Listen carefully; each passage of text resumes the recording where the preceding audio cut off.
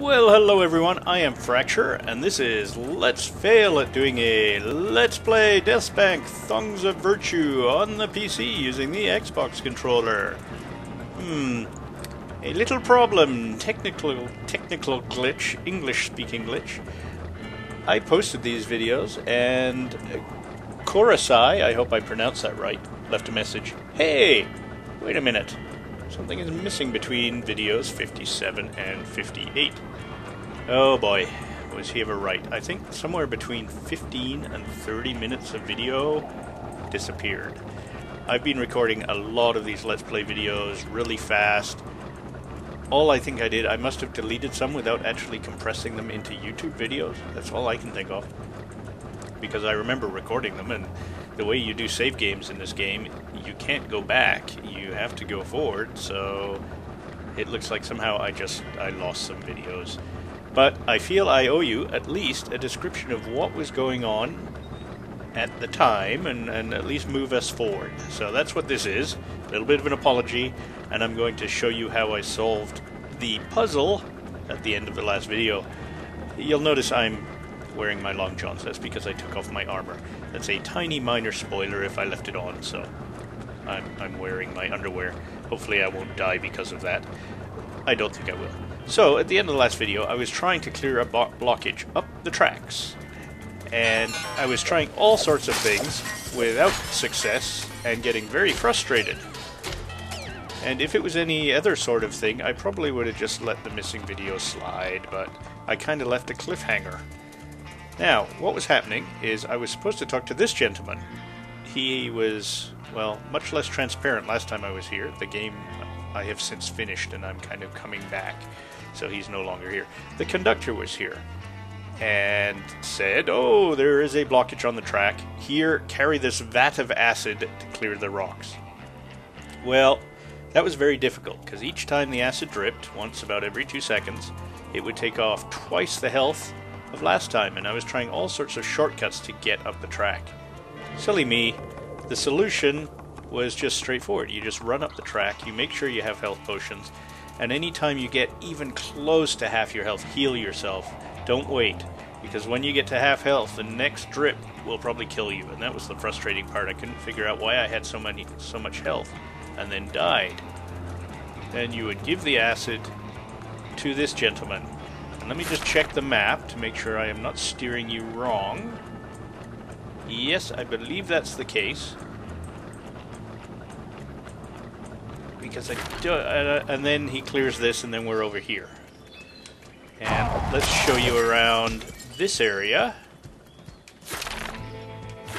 I think we went down here. What was down here? Oh yes, this gentleman, this gentleman, Lewis Clark, was looking for 10 pieces of camping equipment, and that was just a quest all over this area of town. It was just scattered around, little knapsacks you had to pick up. Oh, I'm having frame rate problems, but I'm going to ignore them because this is just a little show off thing and walk up here and there was some up here wandering around and then finally you collect all of those and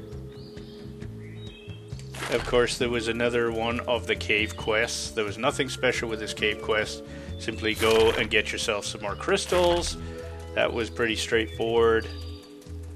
Then we came down here to the end of the tracks, and there was a boss battle of some sort, and I don't recall what it was. Uh, we talked to this engineer. Greetings again. Thanks again. No, Def. Oh, I remember this. Yes, I will try and find another Let's Player that did this quest, and maybe put a link in the uh, description of this video so that you can see it. But what happened is this the track was blocked here, the engineer was out of dynamite, out of acid, and there was a mountain in the way. So there's actually kind of an amusing cutscene where Deathspank goes through university and gets an engineering degree and builds a cave through the mountain. And that solved that quest. I seem to remember there was also something to fight, but the fight was pretty trivial at the level I was at. So that got us that solved. But I discovered this rather interesting cave. They don't mention it, they make no allusions as to what it's for. I had assumed it was the path through the mountain, and clearly that's what it's supposed to be. But when you go poke your head in the cave, rather amusingly, if you look around, nothing's fighting you. It's a bunch of extras. They, they all have Hothead Games logos on their coats. There's a Hothead Games sign. Hothead, of course, is either the publisher or the developer publisher of this game. These are art orcs, and you look around, and there's equipment lying around, and cutouts, and parade floats, and this cave is storage for the game. This is where they keep all of their props for the game. And okay, guess you had to be there. I, I thought it was hilarious. Uh, you can attack these guys and it won't start a fight, but you know, there you go. This is where they keep all their equipment so that they can build the levels for us. There's no purpose for this. Just, yeah, I thought really funny. Good way to end the track. So that's really the only other piece that we missed with my Let's Plays, and then I continued on. We're we're pretty much wrapped up at this point, and I believe that's where the next video starts. So really, all we did was we cleared out two camps. Boy, did I lose all of the Wharton stuff? I don't think I did. I think the Wharton's fight is still alive, but you know, I I don't know. And the Blood Mountain monks. Uh, maybe you tell me the Blood Mountain monks, they were monks. We had to kill them, but they wouldn't fight. I'll go look through my videos, so this may be something you already know. They wouldn't fight us. The fight was the same. Blood Mountain monks. Fight was the same as anything else, but we had to get them to fight us. They wouldn't fight us, but we talked to another guy a little further down the tracks, and he said they haven't been paying their rent. Put this put this eviction notice on the the church door we put the eviction notice on, and of course, they immediately all got pissed off and they attacked us. Perfect. Blue Bandito camp, nothing special there, standard fight. And I'm hoping Wharton's I didn't lose. I'm a little worried because how far down the track it is, but I'm pretty sure I didn't lose the Wharton's fight. And that was about it. And once we had done that, we just moved on to bigger areas of the map. As you can see, that's the end, the desert end. And we worked our way towards as you saw, the lake and the North Pole and that sort of thing. And I know I recorded that. So there you go. There's my apology. I'm sorry. Yes, somehow I goofed. I lost the videos. There's no recovering them. I simply can't keep this many raw Fraps files on my hard drive, and I was doing Divine Divinity at the same time, so my brain fart basically, and I managed to delete some stuff. So there you go. I hope that uh, suffices in the way of an apology, and I hope it gets you all sort of sorted out so you can see where we're heading in the next video.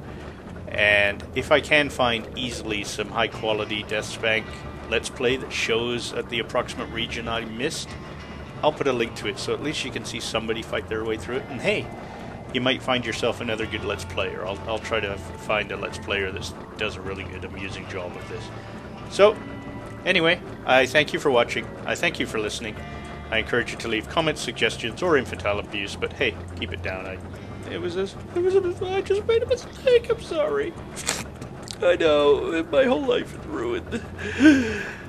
But anyway, uh, if you like my videos, don't forget to give me the thumbs up or subscribe to my channel, and we'll see you next time. Cheers, guys. Have a good one.